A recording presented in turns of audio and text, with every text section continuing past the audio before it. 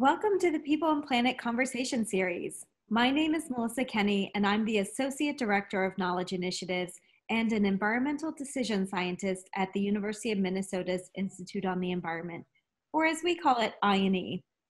I'm so thrilled to have you here today. We have an exciting conversation planned.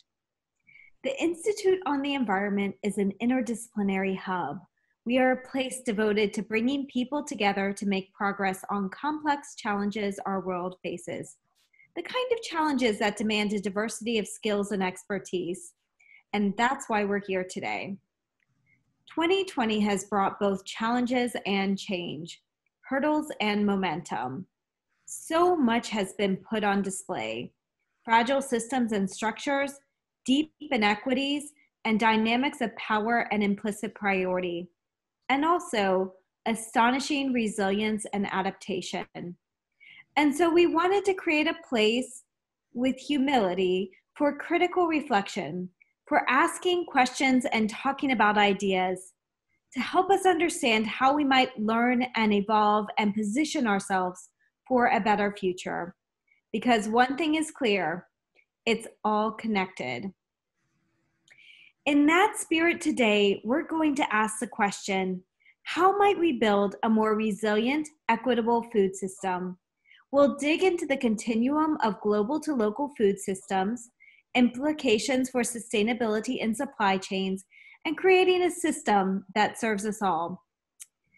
Unfortunately, one example of a continuous issue within the supply chain is showing up today. Chris Fields, president of Fields Produce and Foods Incorporated, planned to join us and is unable to make it due to last minute staffing constraints. But we have two superstars who are here today.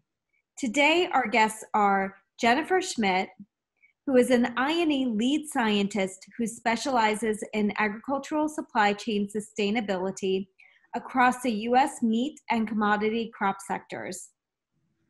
We also have Kathy Draeger, who is a statewide director of the University of Minnesota's Extension Regional Sustainable Development Partnerships. Her research includes rural food distribution, local and regional food distribution, and rural go- grocery store persistence. I've invited our panelists to provide some remarks to set the stage, and then we'll open it up for questions. Thanks to those of you who have already shared questions when registering. You can also use the Q&A function during the event to share your questions and who you are, and our event moderator will pass them along to me. So are we ready to go? Jennifer, do you want to kick it off? Happy to. Thank you, Melissa, and good afternoon, everybody. I want to begin by talking about our current food system, specifically how the majority of the meat produced in the US gets to be on your plate. So meat in the US begins with corn and soybeans. There are exceptions, nuances, and variations, of course. But on average, and for the vast majority of US meat, corn and soy make up the largest feed ingredients. These crops are grown across the United States, and they move by barge, rail, and truck to feed mills or on farm storage where they're mixed with other small amounts of ingredients to make an animal feed ration. These feed rations are science, highly developed to achieve optimal animal growth targeted to various life stages of the particular livestock. From those feed mills, we move to the farm or the feedlots.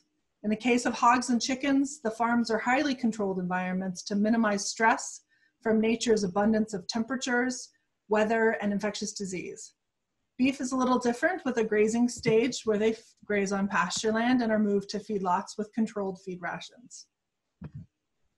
But the goal here is to get the animals to as close as possible to an optimal weight to get the highest price from the processors or the slaughter facilities.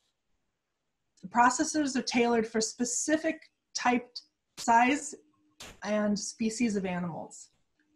From there, the meat is further processed and goes from to storage and distribution facilities, wholesalers that end up in restaurants, grocery stores, and ultimately end up on your plate. If this system sounds mechani mechanistic, it is. We are highly efficient at producing meat. The US produces over 27 billion pounds of pork and beef each year. we produce over 58 billion pounds of chicken. And much of this is consumed within the United States. On average, Americans consume about three times the global, global average of meat. Despite this, about 10% of our beef, over a quarter of our pork, and about a little over 15% of our chicken is exported to the rest of the world. And as many of you are highly aware, there's an environmental cost to all of this.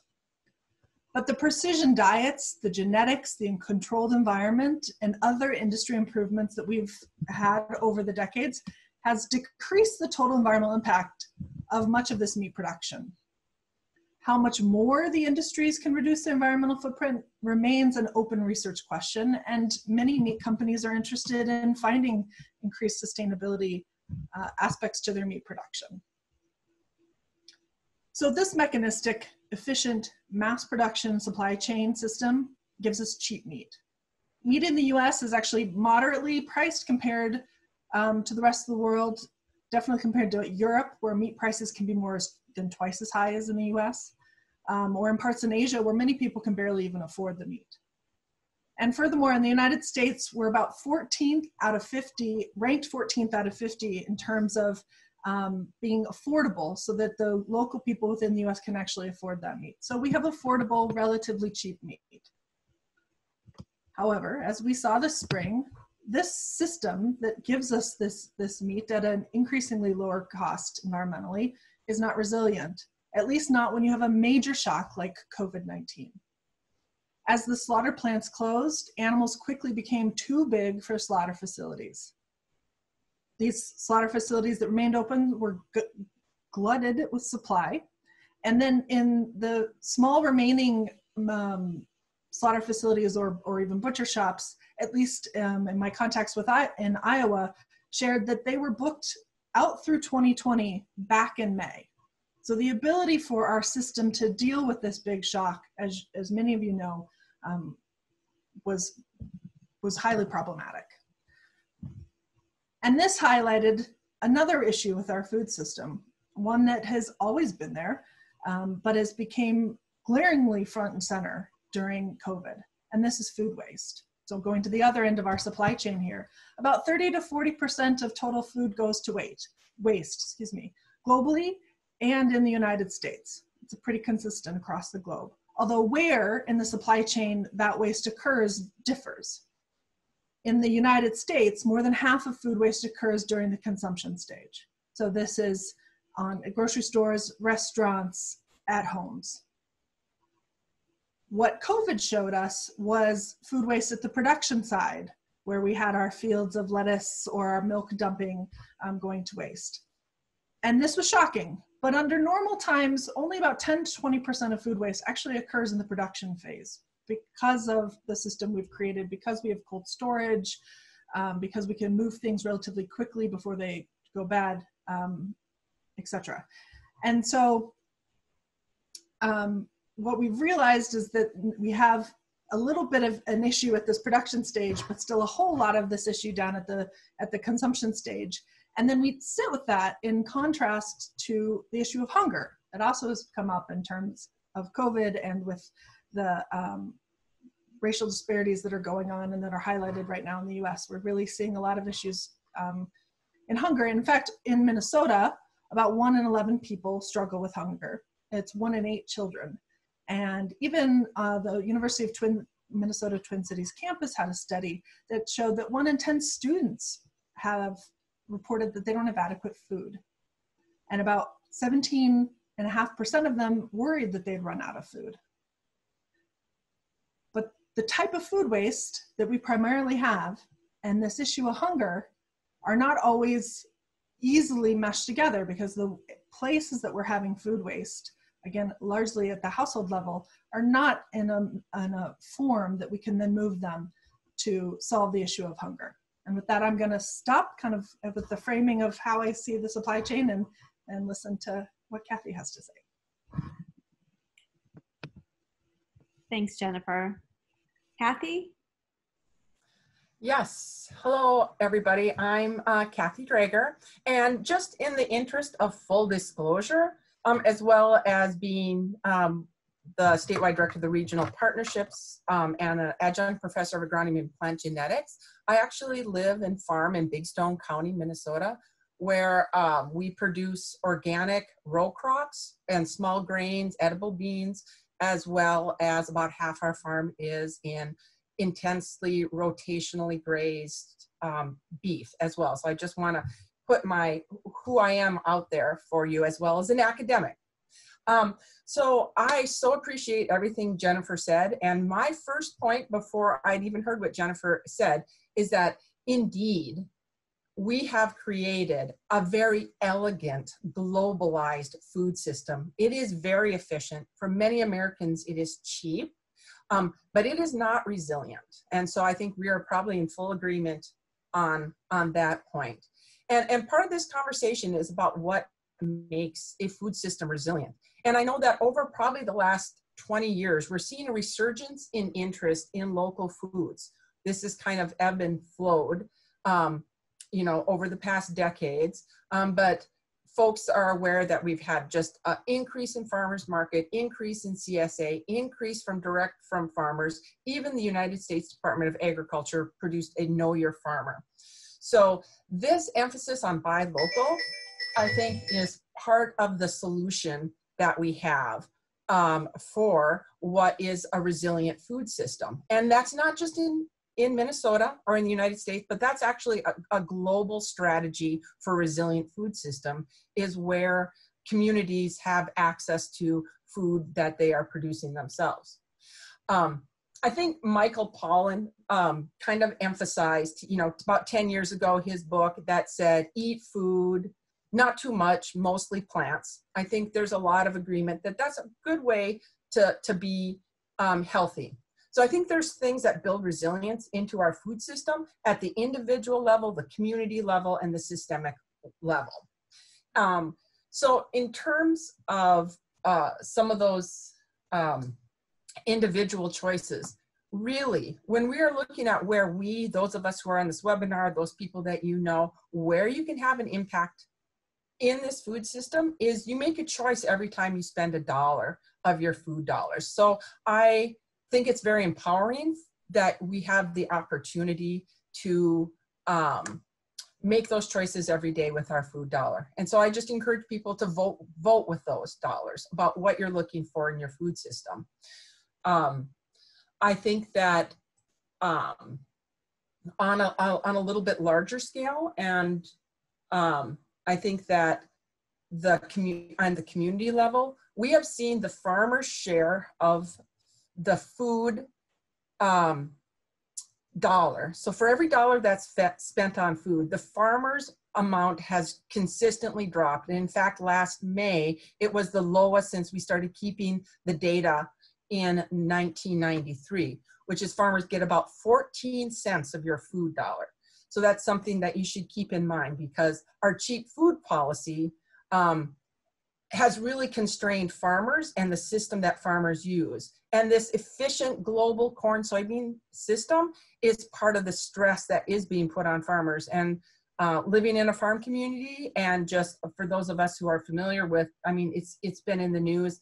We are in a farm crisis right now. Farm prices are are very low, but this has been going on for a number of years. As I said, the farmer share of the food dollar is the lowest since 1993.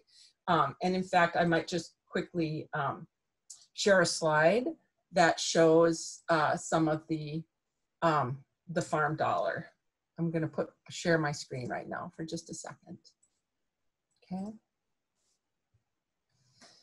So, oops, sorry, this is in the way. So um, I just, this is, sorry, this is such a busy slide, but I just wanted to point out that just historically, um, you know, farmers receive a small amount of the actual price of the crop. So when you buy, let's say your cereal for 3.49 a box, which actually seems, you know, depending on what cereal you're buying, that's not an on a, I mean, that's in the price range. Farmers get five cents uh, of the raw ingredients that go into the box. And you might think that during a pandemic, when we are actually seeing impacts in the supply chain, as Jennifer pointed out with the meat supply chain, you might think that maybe farmers did a little bit better, but they didn't. um, that bottleneck, the price of beef went up and the amount that the farmer received went down.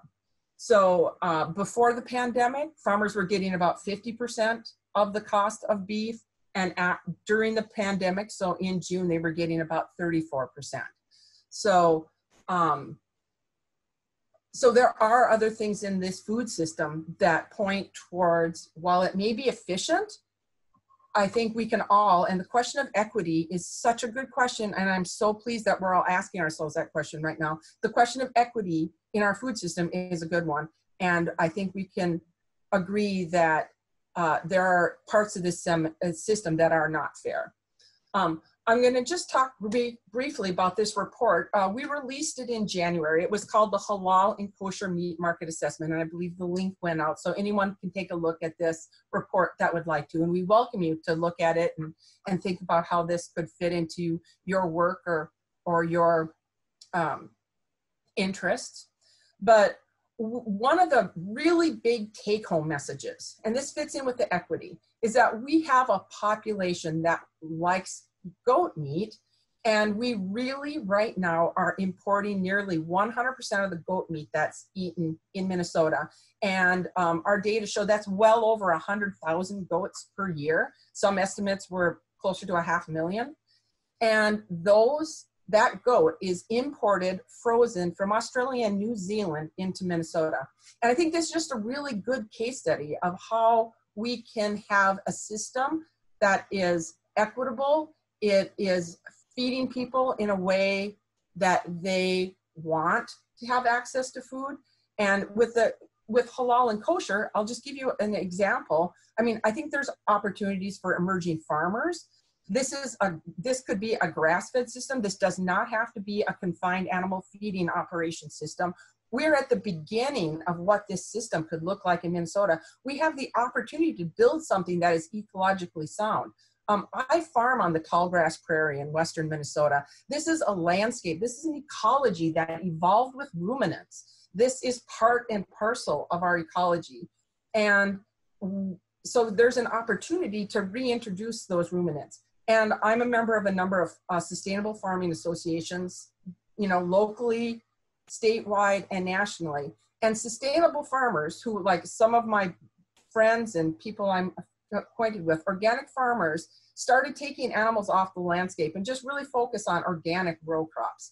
And now we have an opportunity. A lot of these farmers are saying that was a mistake. We need sustainable farms need animals grazing, converting some of the grass into manure, providing that fertilizer, providing that soil health, you know, repopulating the microbes, making it work.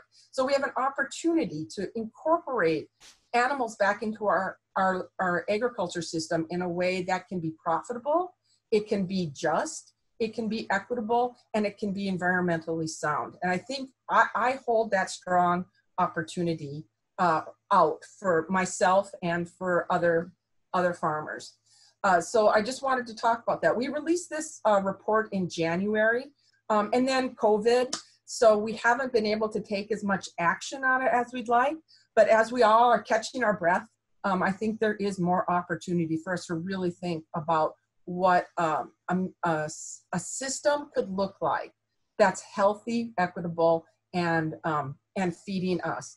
Um, and just I ate goat meat yesterday, um, and it was produced here in Big Stone County by two. Uh, we have two. Uh, it was actually the park ranger from Big Stone Park. They use the goats to control the buckthorn, and then they harvest them in the fall.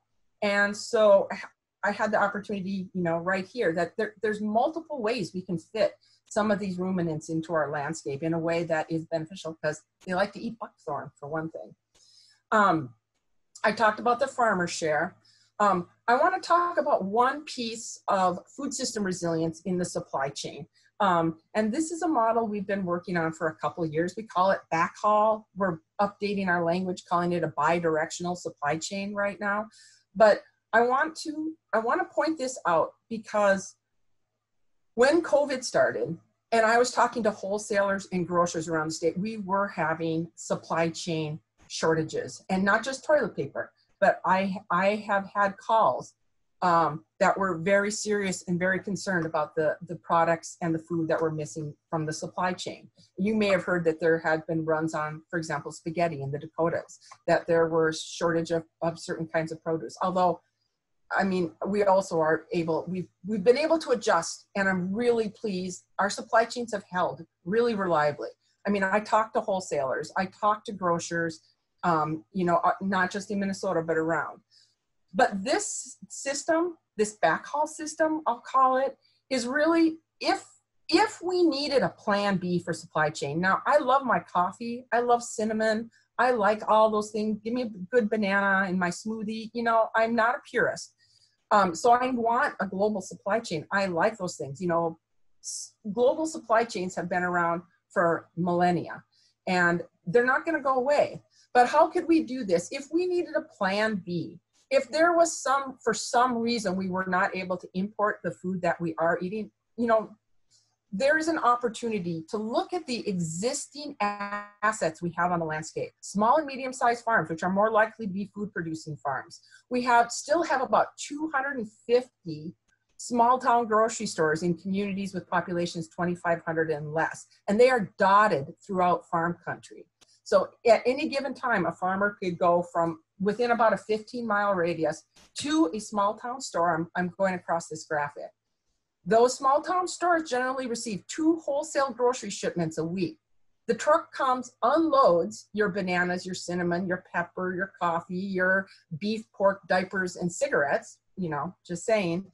And then that truck goes back to the wholesale warehouse and it's empty when it arrives. What if we piggyback at the grocery store, the farmer meets them, loads your carrots, strawberries, barley, edible beans, potatoes, whatever crop we're producing at the local level. And we're able to take that back to the wholesale warehouse. And then it can be redistributed throughout the state. And in fact, we have tested this. We have regulatory approval to do this, not with all crops, but with a few crops. For example, um, we did it with garlic, which is shelf stable. It's okay at room temperature. People eat it cooked, low food safety. It was all good. We actually tested it.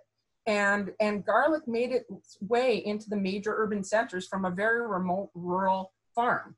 Um, and so we know that this can work. So I see this as one of those, like if we needed to deploy something right now to keep Minnesotans fed, we could deploy a system that would get crops um, using the existing assets of existing wholesale routes, existing grocery stores. These existing relationships don't need to be rebuilt, and we could it, we could make this work to uh, be our actually I actually see this as Plan D. We got a Plan A, B, C. This is Plan D if we needed to deploy it because of uh, supply chain disruptions.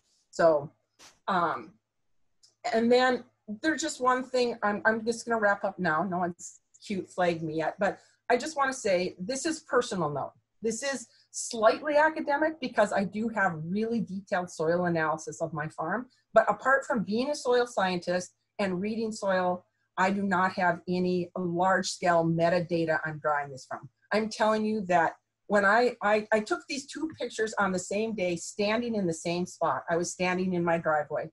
To the south, which is the left hand picture, to the south is our rotational grazing. Um, it's, it's lush, it's beautiful, it is covered with grass and forbs and plants and animals. It's full of, it has fox and voles and moles and mice and birds and meadowlarks and pollinators and um, it's, it's in frogs. The frogs are echoing throughout. And then I turn to my right, I'm looking north and this is our much loved, pampered, organic cropland. And this is on June 3rd. And this is where we raise our edible, we've raised our organic edible beans, black beans if you like black turtle beans. This is where we raise barley um, and those crops. And this is what these two look like on June 3rd. And I will tell you that our row crops, that, that is, we, we just, and in this picture, we had just um, plowed down our cover crop. So it was green the day before, but it was it turned black on June 3rd. That was the picture I was taking because we had to plow in the cover crop to plant a grain, and it's dead. There's no fox. There's no nest. There's no pheasants. There's no voles. There's no pollinators. and and so when we talk about what is an ecologically sound way to eat i, I want to say that i always lean towards my pampered organic acres which i walk on and pull weeds and baby and talk to and all that good stuff and i love my edible beans and i'm probably having barley for lunch so um so but i'm telling you in terms of beauty which i think is a part of resilience and sustainability as well the grazing is beautiful. I have meadowlarks. When we bought this farm 12 years ago, my husband and I agreed one of our goals was to have meadowlarks on the farm. We do, but only on the south side of our farm, right? My, my son has actually gone out to try to save pheasant eggs when we are when we are planting in our, our, our certified organic fields. So I, I don't know how to say this except there is a certain amount of death that comes along with us eating grains and eating edible beans. Um, and that's why I think what Michael Pollan says is, you know, eat food, not too much, mostly plants, but not only plants. Because if you can afford to buy from a farmer you know that um, uses intention, uses rotational grazing in an intelligent way, and, and we do have advocates like the Sustainable Farming Association that are training farmers all over the state to do this that, that it can be a part of what makes a beautiful, resilient, robust landscape. Um, and so I think we need to change our conversation over time about, about what is resilient. And I think that's a great segue, Kathy. And I'm wondering if I might be able to jump in because Beth from St. Paul shared that she's a satisfied purchaser of your beef and vegetables through the Consumer Supported Agriculture, the CSA. And so she knows where you suggest you put um, her dollars. But there were a couple of questions coming from Beth and other participants asking about how can you find information, both local and global, about whether your food is sustainable. So, as consumers, we actually can't vote with our dollars. For example, do we avoid certain high impact foods? Do we look for labels and assessments of sustainability? What should we do to be smart consumers? Um, so, so I can take a stab at it, and maybe Jennifer has some as well. Um, so, I mean, I, I before I farmed, I lived in St. Paul, and I would uh, sign up for CSAs and I would also buy my meat directly from farmers and um, I would talk to those farmers. I did actually about what their practices were, not in as in depth as I probably would now. Um, but so you can ask those questions. Minnesota Grown is a great resource. Um, so you can click on a map and you can find farms near you. They give you the contact information, telephone numbers, emails, websites. Um, and so I think there's a lot of, there are a lot of opportunities to to look and find those foods.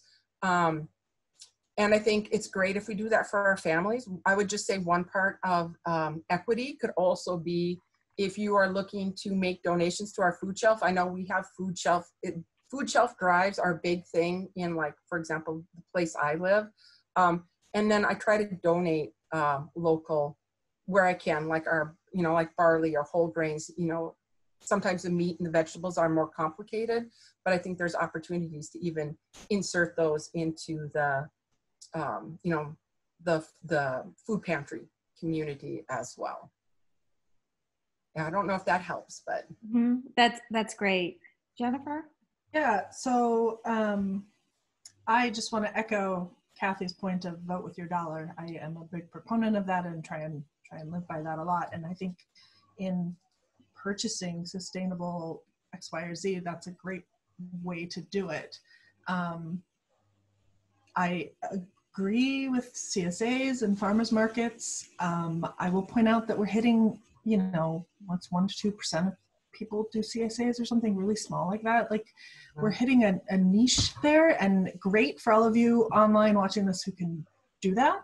But from an equity standpoint, that we're, we're and from a actual moving the needle standpoint, we're we just don't have enough with that, um, at least now, to change the, the system. And that's why I started ex- with my talk about this just big system because I, I think it's important to realize that these, you know, Kathy's farm is amazing, and then there's the average, and that's what I, you know, was trying to hit there. And so f- from that, point, labels are helpful. Um, they can be a proxy. I mean, even the organic label that has lots of problems I, and is, is a proxy. Um, and we, I'm sure everyone's talked about free range and the issues with that. Um, but I, I think that right now for consumers, that's a large part of what they have. Um, if you do have a little more time thinking about um, looking at the companies and so what particular companies are doing in terms of trying to achieve sustainability.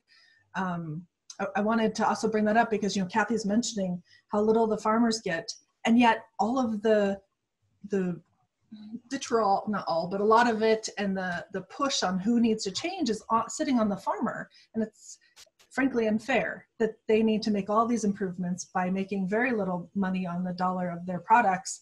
And but that's where the impacts are. They're on the farm and so that's why it's happening. And so so looking at companies and understanding who's working to share the costs of sustainability improvements who's putting money where their mouth where their mouth is in terms of the company themselves to improve the landscape um, i would you know i would encourage you to to shop from those particular companies. Um, and sorry, one final point, just, well, two. So, so barring um, the time to do all this, um, this is where something universal like a carbon tax could bring what we all use to make our decisions, which is money, and bring it to the forefront. But it has to be applied universally um, in order to, to have that signal be there. Um, and I forgot the other point, so I'm going to stop there, and I'm sure it will pop back in my head after this. Well, and Jennifer, that's a that's a great segue because we basically got this continuum of some people really wanting to know individually what they could do, and others really wanting to have this idea of what are some of the institutional changes that are needed for healthy, equitable, sustainable food systems. So um, I'm wondering if we can dive into that piece of it just a little bit more. And you brought up carbon tax as one mechanism. Um, and so there were some questions that arose from a number of our participants um, who chose to say anonymous. Um, for example, one participant, Catherine, is interested in do you have policy suggestions that support small growers of local foods? And other participants who were interested about policies that incentivize sustainability um, within the larger food production process. So, Jennifer, since you teased us with a little bit of these policy changes. Do you want to pick up first?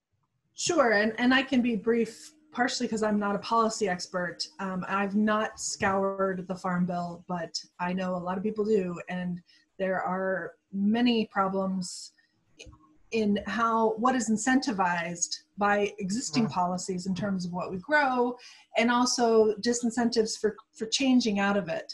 Um, and I, I think that the this policy, like looking at the policies and what they're bolstering up is kind of step number one of fixing it.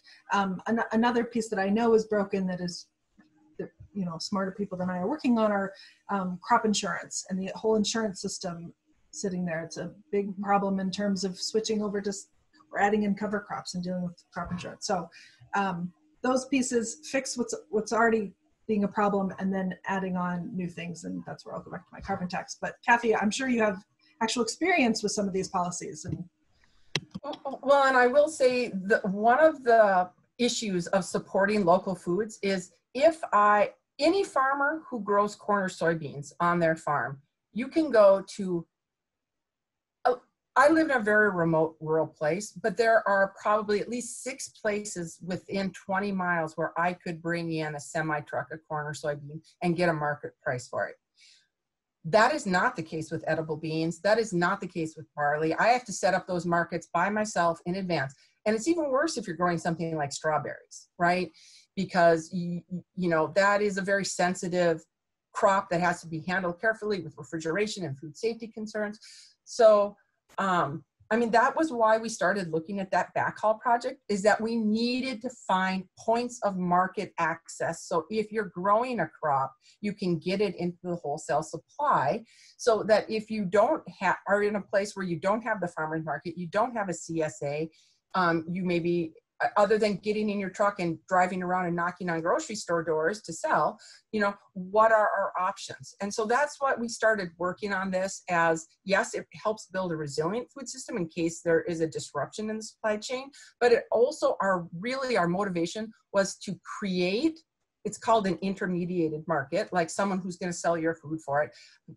Create an intermediate um, market for local foods using the existing assets. Let's not build a whole new thing. Let's not buy a new truck. Let's not start up a new supply chain. Let's not get five new apps, right? Let's just use what we've got. Let's see what assets we have on the landscape and how we can use them. Small farms, small grocery stores, wholesale routes that that serve hundreds of grocery stores in our region. So so that's if you, in terms of what we can do to help, that's why we are really trying to invest in learning how to make this work. And our hope is um, we'll be able to continue that research and development so that we can systematize it. Like we've done the regulations, we've worked on the food safety, we've struggled with the economics because as you saw, you know, getting such a small, we're competing internationally. Farmers are competing internationally for cheap food. And that makes it really hard sometimes for farmers to be able to, example, um, garlic, premium Minnesota garlic is going to be four times more expensive than commodity garlic that is shipped in from China.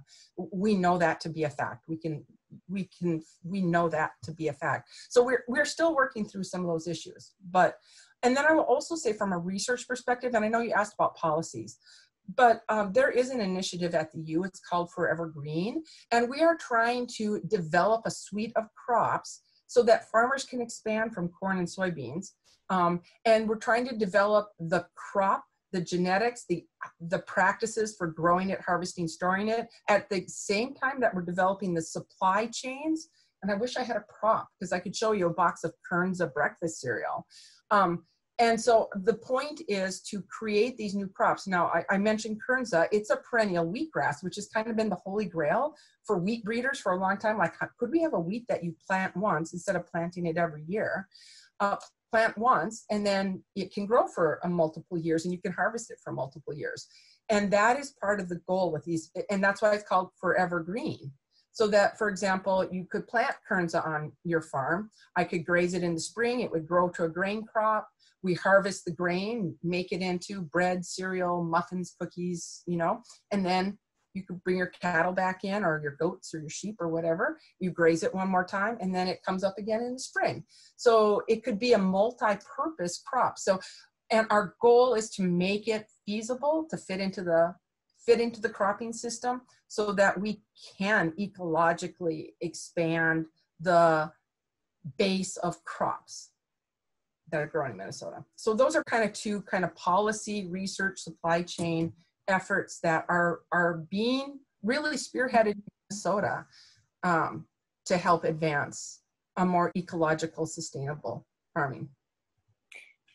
Thank you so much. Um, so I'm wondering if we might shift gears a little bit because we had a couple of questions that were asked during um, the registration that have also popped up during the Q&A. And actually, the most common questions that were asked by Patrick, Jennifer, Jim, Craddock, and Susan related to common questions about sustainable foods, meat consumption, and organic foods. And so I'm hoping we might address these two um, questions that have arisen. So, first, we hear a lot that the solution to sustainable um, food supply is eating less meat. Is that true? Want to go first? You want me to go first? the solution to COVID is wearing a mask. That is the answer. the answer is yes, but um, eating less meat. Okay, so so meat does have higher when you look at like a per protein basis on average. Okay, greenhouse gas impacts. Meat has higher impacts right? So on average, if we decrease meat, especially in the US, where again we're consuming three times the global average, you you are going to decrease your meat consumption. However, um, in preparing for this, I was doing some background research and, and came across a study that perfectly highlights what I think Kathy is going to point out actually is that there's so much variation, um, especially in things like cattle operations, that there are um, like beef operations and other meat operations that have a lower impact than than um, plant-based proteins, especially highly processed, you know, imported plant-based protein. Um, so, so again, on average, yes, but but then you have this variation where if you have the ability to kind of get the best of the best in terms of sustainable meat, um, then you're actually doing better by choosing that over a particular vegetarian alternative and so that's why i started with my thing about mass like it's it's complicated. It is gray. I think it's a good rule of thumb but it is nothing to um, I, I don't personally believe to, to become super righteous on because there's a lot of buts and gray areas involved with it. And yes i would agree with that. And there we need to do some research on the systems and really be able to define the systems. Um, you know, over about the last 120 years, we have agricultural research stations that have been doing corn on corn. I mean, we have a lot of data. And we've dropped, under row crops, we've dropped our soil organic matter by half or more in some places, right? Um, and uh, because we do extensive, so so we know that when we have perennial cover, whatever that is, kernza, alfalfa, hazelnuts, um, pastures. We know that our soil organic matter goes back up, and we can't discount the soil as an absolutely critical sink for carbon globally.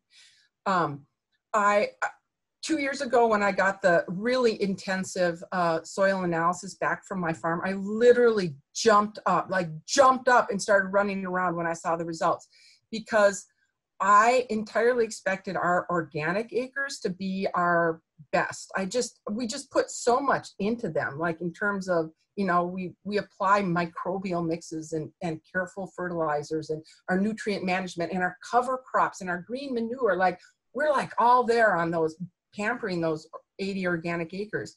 And what we found was that our soil health, and that this is an index that came from, I believe, Midwest Analytics, is they do really, they're, they're renowned for their soil health analytics. Our, our pastures, on a scale of 1 to 25, our pastures were over 24 and our organic acres were at 12 in terms of soil health. What was even more startling to me was that just after, I don't know, we probably had these acres under pasture now for eight years. Yeah, eight years. That it's 2% higher organic matter than our um, our uh, row crops. And, and I don't mean to go all anecdotal on you, but to say there is a need for research. And just what Jennifer said, there's a lot of if, ands, and buts. And we need to figure out what is the system. And, and even within our pastures, we have some that have deep rooted plants. Uh, we have cool season paddocks, warm season paddocks, and our tap rooted plants, that wasn't as high as our deep rooted plants. So even where we have perennial cover, we were seeing some distinctions among the plants that we planted in different paddocks. So it's it, it going back to what Jennifer says, um, it is it, it, it is not a slam dunk that eating non-organic plant-based is any better um, sir, you can't say that one is more um, slam dunk better than the other. I, I do agree that um, industrial meat systems, um, you know, the the you do need do be judicious in what meat you buy and from where. Um, and then I'll just gonna point out the issue of sugar too, just just briefly. Again, getting to some of the processed foods because um, it's it's sugar beet harvesting season right now, which really is a pretty intensive. It's a root crop, so if we and I like sugar, and I try not to eat as much of it because really sugar is one of those processed foods that also has an impact is ubiquitous in our diets way way lot of sugar um, and i think doesn't contribute to our health either obesity or diabetes and, and so in addition to meat, I think there's big things in our diets like sugar that we should be looking at and thinking about how we can uh, reduce the, that amount of processed food as well. So, I mean, I don't mean to open another whole can of worms. we do grow sugar in Minnesota.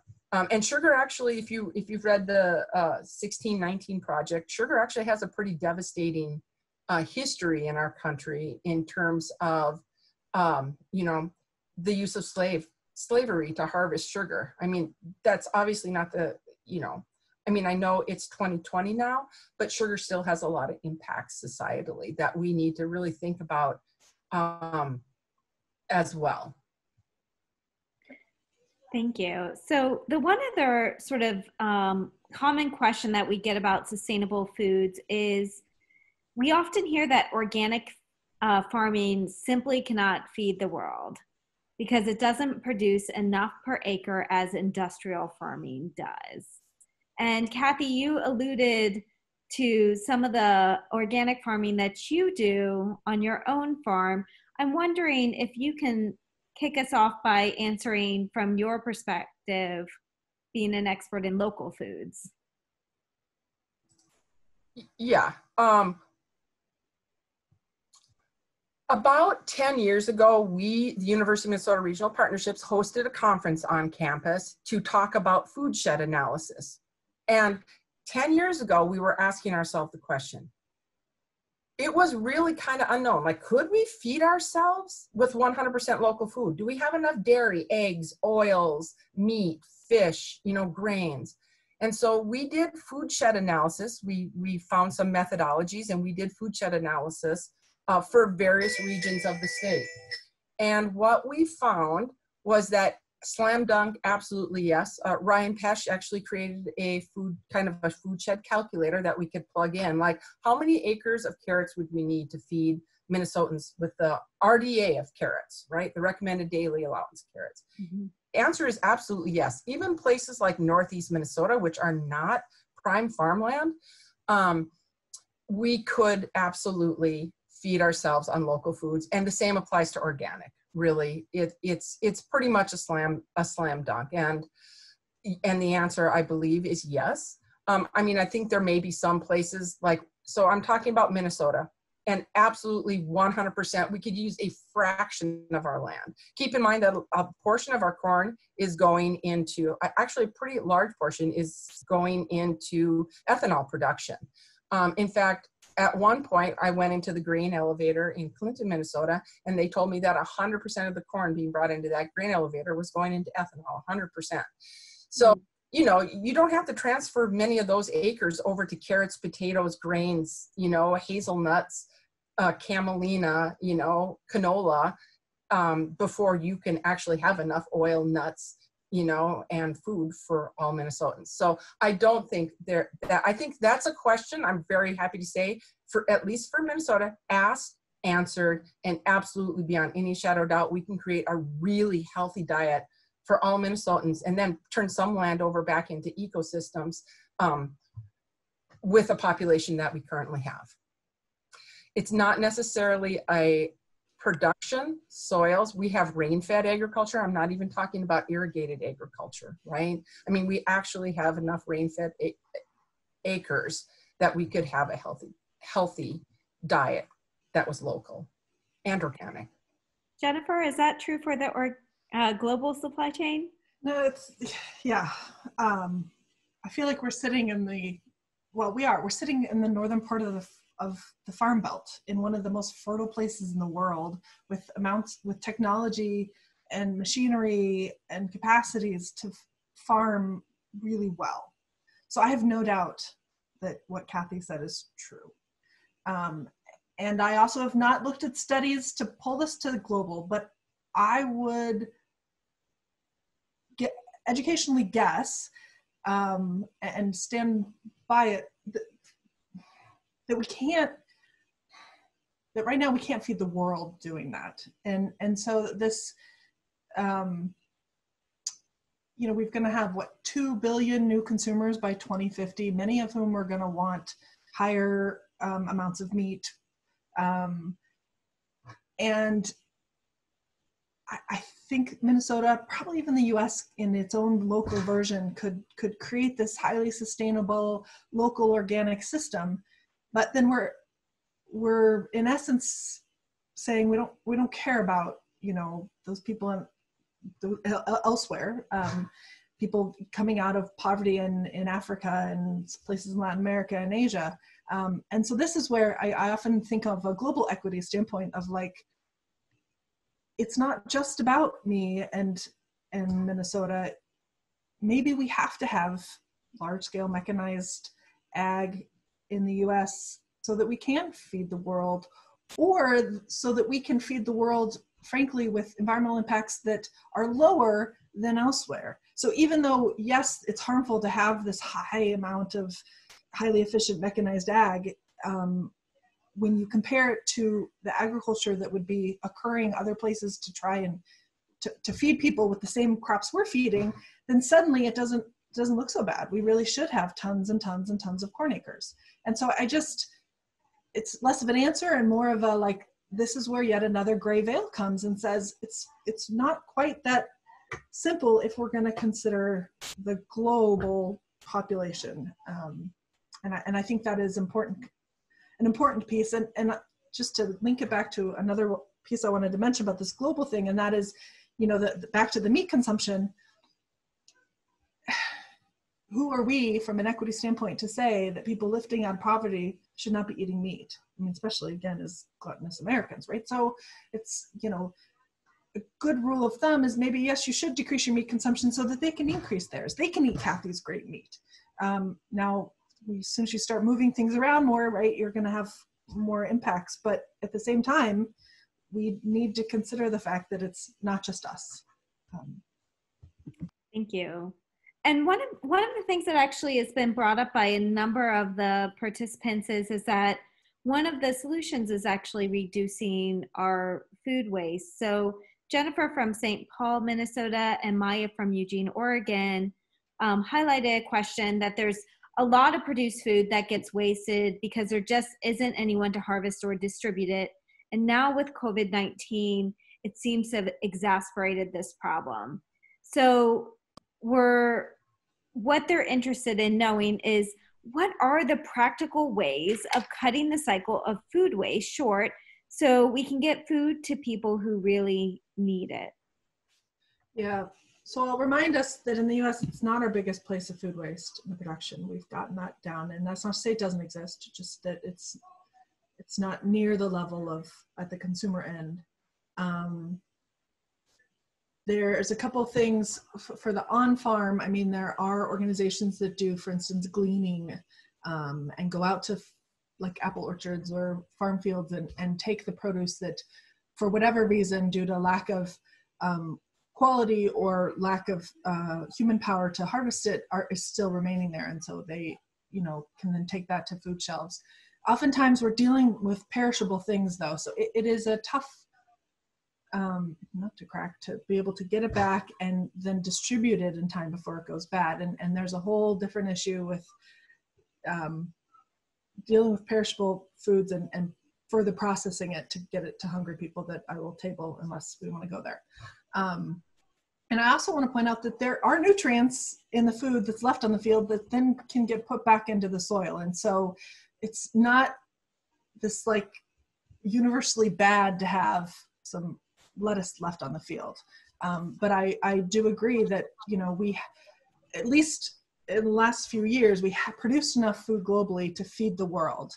Um, but it creates this false dichotomy because that we can't actually take all of that food that's wasted um, and actually feed it to people. There, there are pieces of it, and in many of those ways, in Minnesota, we've we've solved those. I mean, food shelves are great at getting breads and produce and meats and dairy from groceries for instance. We've, we've closed that loop um, and, and with gleaning have closed some of the loops on the on farm stuff. So I'll, I'll stop with that and see, Kathy. So I think this is another opportunity for us to be like food waste ninjas, right? So like I I am I am a stickler for food waste. Um, and in my house and people don't have there are limited choices people don't get I, I'm going to say we don't have a lot of food choice. When asparagus is in season, guess what? Can have asparagus for breakfast and for dinner uh, for quite a few days until, you know, and we freeze some for the winter as well. But I'm saying seasonality fits into this as well. So, like when it's apple season, we we'll have bushels of apples and you eat it's all you can eat apples and then we won't eat apples you know like as far, as far as seasonality we we can them and we dehydrate them we have apple rings but in terms of going to the store and buying fresh apples. And this is a side issue. I agree seasonality is a side issue but i think it's something we can be aware of if we're interested in you know just equitable local and regional food systems. Um, but really be a food waste ninja. Just it's find find ways that you can use every single bit of food that enters your house and that you really have little of it that goes to waste. Um, including i don't know maybe this is off track but like our our potato peelings go to chickens and i know that's not an option for many places. You can't have a backyard chicken. And you know if it's a meat scrap it'll go to a dog our our beloved house pets you know? So um so we really work hard at having no food waste and take, you know, have a sense of pride in that in our, like just raising my kids kind of, you know, in a way that, that have a sense of pride in not having any food waste at all. So um, what Jennifer said is right. The majority of the food waste that we do have is in our houses. And that's where we have to um, address it which is something that we individually can all take ownership of and one of the ways that we individually can create a more sustainable food food system um, what's the one final thought that you want to share with our participants here today i'll i guess i'll go first um, so covid has highlighted so many flaws in our food system but it has also highlighted the fact that dealing with hard, complex problems with incomplete and changing data is also really, really difficult and something that we're not well equipped to do. And if you remember anything from this, remember the food system and changing it to sustainable, resilient, and equitable is very much just as hard and complex as dealing with COVID. And so being able to sit with these messy problems, to lean on science, to understand that science changes, and to keep trying day after day, to me is the most important take home message. Thank you. Oh, I echo everything Jennifer said, and I would just, eh, on a hopeful note, just recognize the assets that we do have. Like we, you know, we do have a lot of small and mid-sized farms still in Minnesota. We need to recognize those assets and work to shore them up. We do have a support for emerging farmers and a lot of people that are really dedicated to making sure that farming continues and that uh, we that that we have some diversity in the farming community as well. We've got good investments in, in that area. Recognize that some of those assets might be that small little rural grocery store you pass through as you're driving through greater Minnesota and stop there. Give them some of your food dollars because you never know when that might be the first stop on a local on a backhaul of a local food that's going to make it into your urban neighborhood or your neighborhood someplace else. So think about the existing assets and the food that's in your house is one of those assets. So let's, we can take an asset based approach to this and really uh, try to fortify what we have um, on the landscape already. Kathy, Jennifer, thank you so much. I know we could easily talk for another hour and still not cover all of the great questions that were coming in um, from our participants and the ones that I have right now. But unfortunately, we're out of time. So I'd like to thank you all for joining us um, for IonE's People and Planet discussion on resilient food systems. Um, stay tuned for more events in the series by going to z.umn.edu, people and planet, backslash people and planet. You can learn about the Institute on the Environment at our webpage environment.umn.edu. And here are the URLs in case you didn't have time to write them down. And I'll see you at the next event. Thanks.